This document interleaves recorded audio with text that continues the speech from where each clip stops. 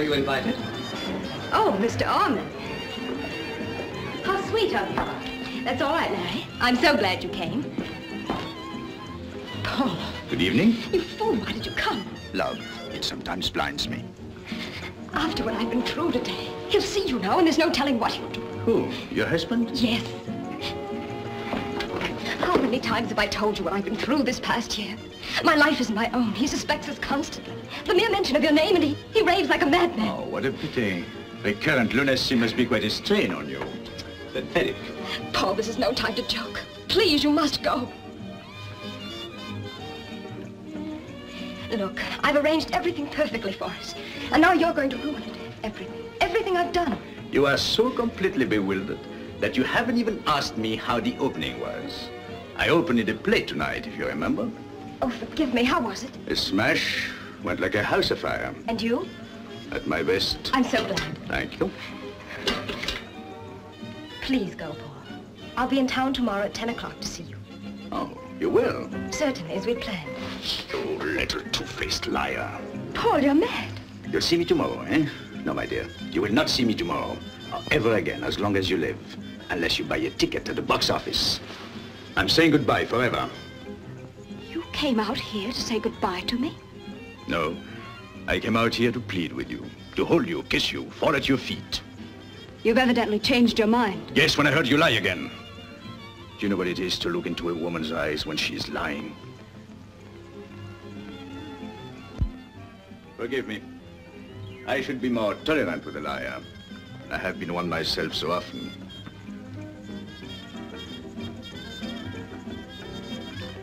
We'll part without any further argument, quietly and calmly. I know everything. You're going with him tomorrow at nine on a plane to Canada to hunt moose. Oh, So that's the point. You did not tell him you were through with him as you said you were going to this afternoon. You did not tell him you loved me. No. Instead, you put your arms around your dear husband and said, yes, darling, I'll go with you anywhere. I am your good and loyal wife. I love only you, nobody else. Please, you must go.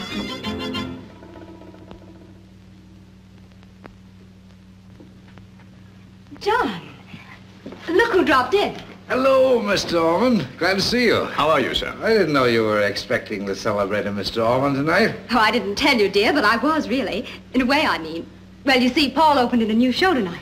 Oh, yes. So the new show is a flop, eh? no, on the contrary, it was a magnificent success. I'm spending the weekend a few miles from here, so I just dropped in to wish you happy hunting. In Canada, isn't it? yes. I do all my hunting in Canada. Oh, whoa there.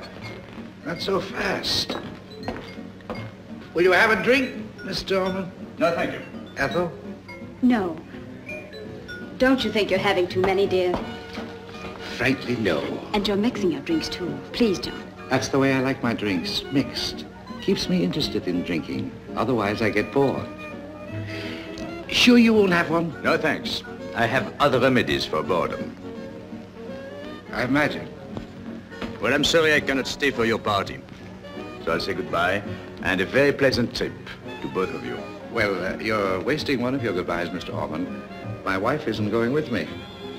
She insists on staying behind. That's old Charlie Anderson. I must speak to him before he gets too tight. Well, goodbye. Goodbye. Go to the lodge at the end of the garden. Be careful. I'll be there immediately.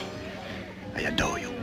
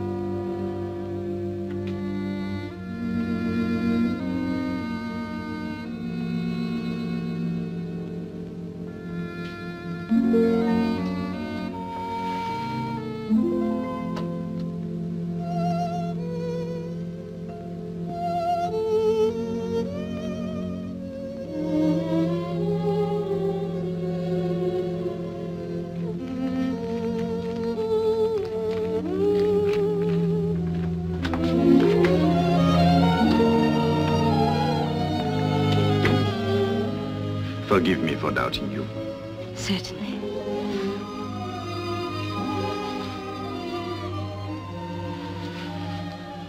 Do you love me? Oh, yes, of course I do.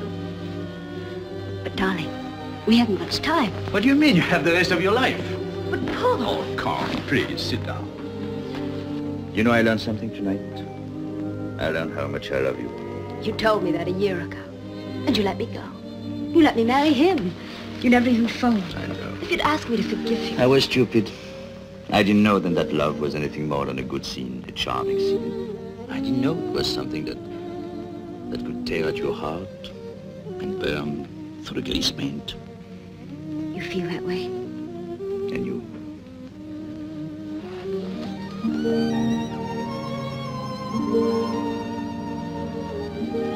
My darling, I know what you've been doing. You've been telling me lies and telling him lies. I know. I've done it myself too often. But that is over for both of us. What do you mean? You're coming along with me tomorrow. Brazil. You can wire him. We'll stay there until he gives you a divorce. And then, then we'll get married. Married? You? Yes, me. I need you.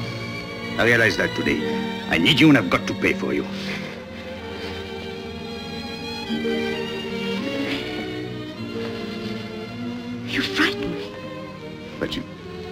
you love me enough. Oh, yes, darling. I'll call you in the morning, right after he leaves. But if you love me so much, why were you so frightened in the house? He's very curious when he's drinking. I didn't want anything to happen to you. Why? I couldn't stand that. I couldn't live without you. I couldn't.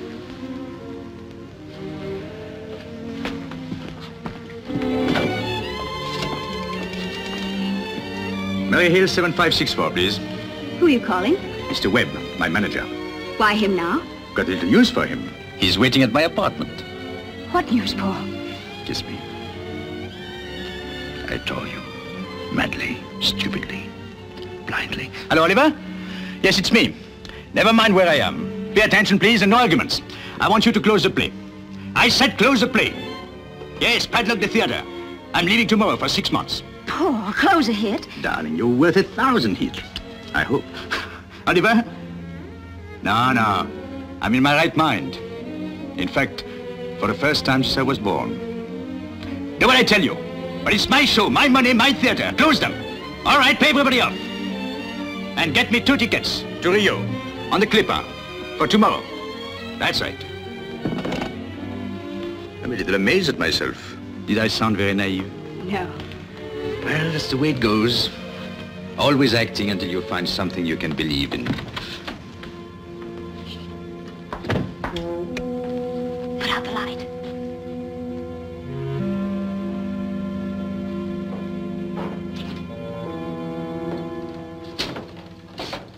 Party's becoming a bore.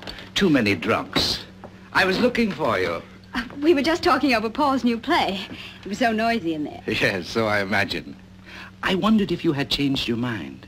About what? Canada, coming with me. Oh, no, I'm afraid not, dear. Oh, I- I don't see how you could resist it. Best shooting in the hmm. world if you're looking for moose. Have you ever hunted moose, Mr. Orman? No, I haven't. Maybe you'd like to come with me. John, you're drunk, please. Now, don't exaggerate. I never get drunk. I get involved, but not drunk. I'll let you use my favorite gun, Mr. Orman. Let me show you my collection. One of the best, you know. Here it is. Took me years to gather this, and here.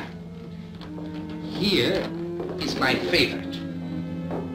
Never failed. Here he is, Colonel Johnson. Colonel Hoyer. Hmm. Well, I, I was just going. Nonsense. Always wanted to talk to you. Don't mind if I spruce the colonel up a bit, do you? Please don't point a gun in the house. Don't worry. The colonel's not loaded. I may be a trifle, but not the colonel.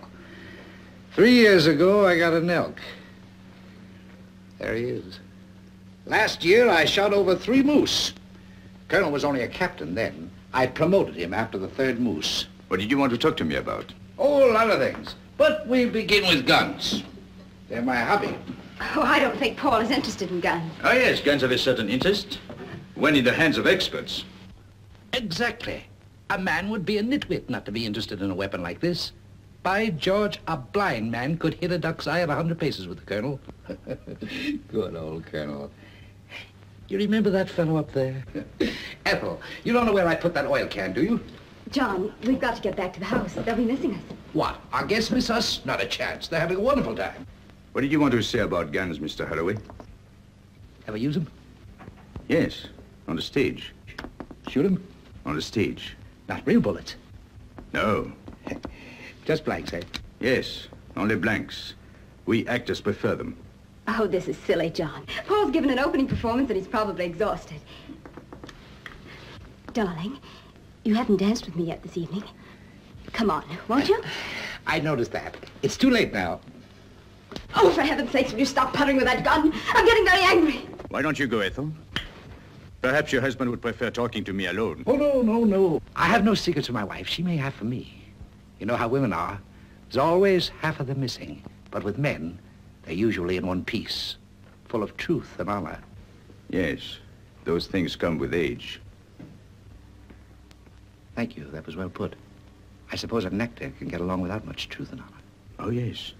An actor can get along without anything, except a good play. Sorry I missed your show. I understand you get killed in it. Yes, at the end of the last act. Couldn't make up their minds, eh? No, it isn't that. They could not afford to kill me earlier. It would have been bad for the play. I see. I understand a woman shoots you. Yes, the woman I love. Sounds very dramatic. John, I don't want any interruptions. How do you act when she points the gun at you? Afraid? No, a little sad, but resigned. I'm drinking a highball. Have one? No, thanks. I can't bear to see you drunk like this. You promised me to... I'm not boring you, Mr. Holman. No, not at all. You stand right up to her and don't act afraid, eh? Why is that? Don't sound real to me. Well, what would you suggest I do? A Fellow always acts afraid when he's facing a gun. Oh, but an actor without courage would be a flop. The audience always likes courage. So you think of your audience, eh, when you're acting? Always. That's something I could never understand about Ethel. I could never figure out whether she meant something or was just acting it. Kept me guessing for a year. Marriage is no fun when it turns into a guessing contest. All right. There you are, Colonel.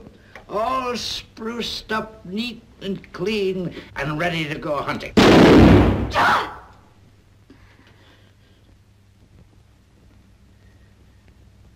You took, you took quite a long time about it, Mr. Halloway. I was getting very nervous. Excuse me.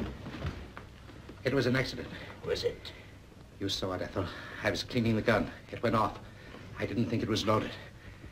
You've killed him.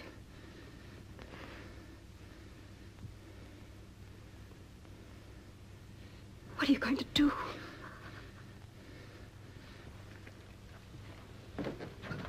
They'll come here. The police. They'll arrest you. They'll take you away. Oh, John, why did you do it? I can't bear it. This'll ruin you. Both of us. Why did you do it? It was an accident. I was cleaning my gun. You saw it. Oh, yes. Yes, of course. It was an accident. You can tell the police that it was unintentional. That your husband and I were the best of friends. Yes, of course. I'll tell them that. I'll say that. John, call a doctor, please. No. No. It's too late for a doctor. The curtain is coming down.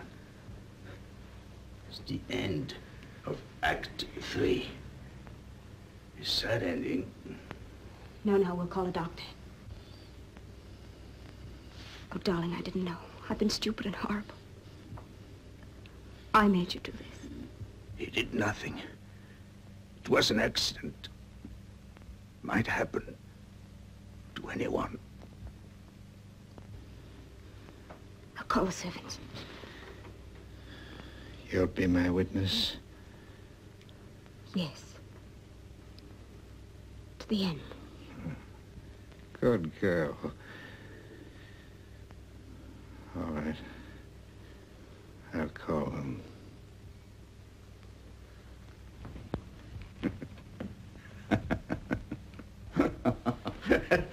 Don't bother. I'm all right. Paul, you, you're not hurt. Thank heaven. How do you like it, Mr. Halloway? Like what? My performance. Couldn't resist it. you know, these scenes have been my specialty since I became famous. So when anybody shoots me, I fall dead. You were acting? Uh-huh. Oh, it's enough night for a colonel. He's not a wizard you made him out.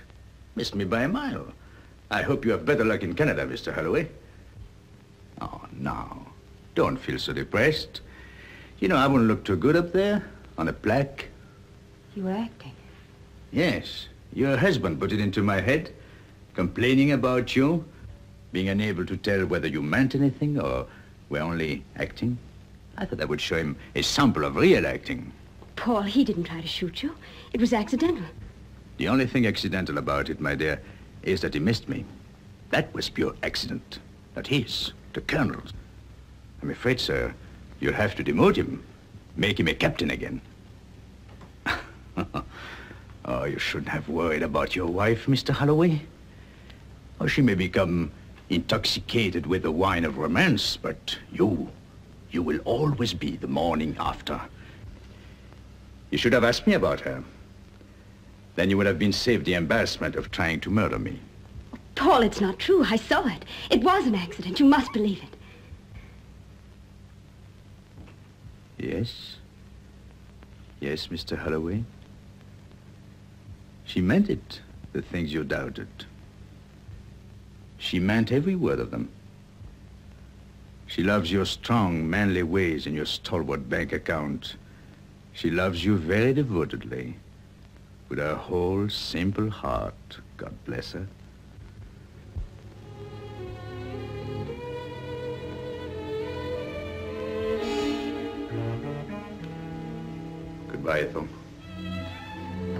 You're not going to do anything about this.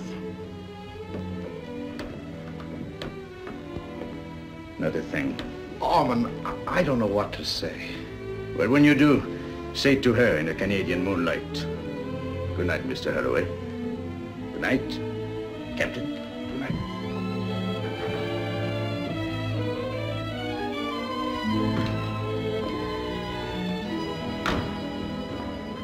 All over? Yes? Where to now?